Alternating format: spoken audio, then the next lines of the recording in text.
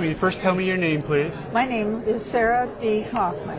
and what branch of the service were you in? I was in? in the Navy. It was called the Waves, the women's branch. Women accepted for voluntary emergency service. Okay, and you said you had a good story for us. There were so many interesting encounters that I can't think of any of them. But young people today have asked me, how is the Korean uh, or Vietnam War or or the Iraq War? How is that different than a Second World War? Sounds very harsh to say. Compared to the Second World War, we're not having a war.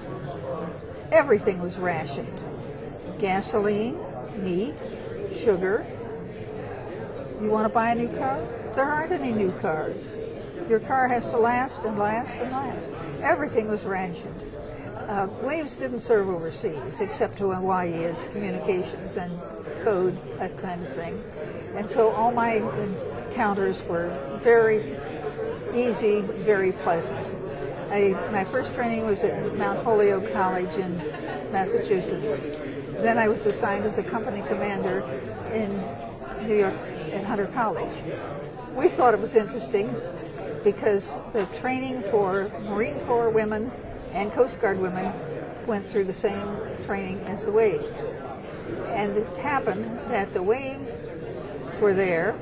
Then on one month, we had a big contingent of Coast Guard that came in from California.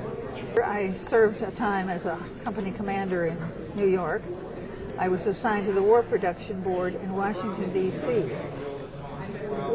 We used, and later on to the Disposal Administration back in New York City. Say, duty in the States was pretty simple. We had rationing, but we didn't suffer any more than the civilians did. In fact, we had a little better. We had we had meal tickets and all kinds of other things.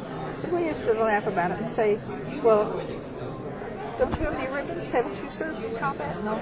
We got a ribbon for 60 successful crossings of Madison Avenue. so we tried to make Doesn't, light of it. doesn't quite compare, does it? Doesn't quite compare. Well, The most interesting experience I had would be hard to say. yeah. It was just a complete change in the way we had lived before.